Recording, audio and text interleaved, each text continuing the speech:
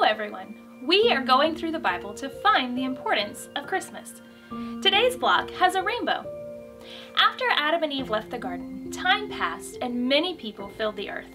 But the earth they lived on wasn't like the garden that God had made for Adam and Eve. It was tough earth with death and sadness and tears. And the people were tough too. They didn't care for each other very well.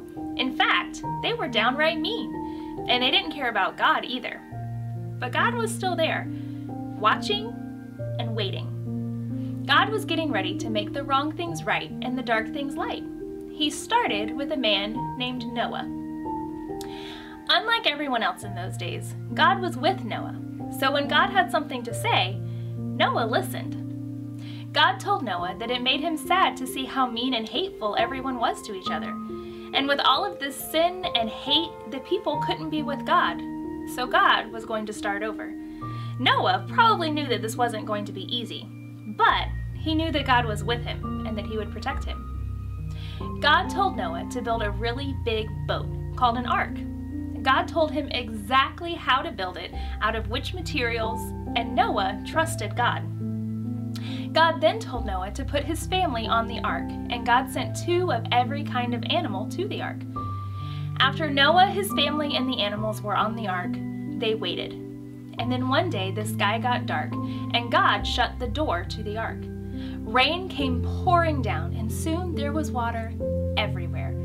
There was no more time for anyone else to build a boat, because the whole world was flooded. Noah and his family were on the ark, and they waited and waited and waited. It rained for 40 days 40 nights, and then when the rain stopped, they had to wait even longer for the floodwaters to go down to be able to walk out on dry ground again. Some days later, Noah sent out a dove, and it came back with a leaf. You know what that means? Leaves grow on branches, and branches grow on trees, and most trees grow in solid ground, not in water. So that meant that the floodwaters were going down. Soon after that, God guided the ark to a patch of land on a mountain and opened the door of the ark.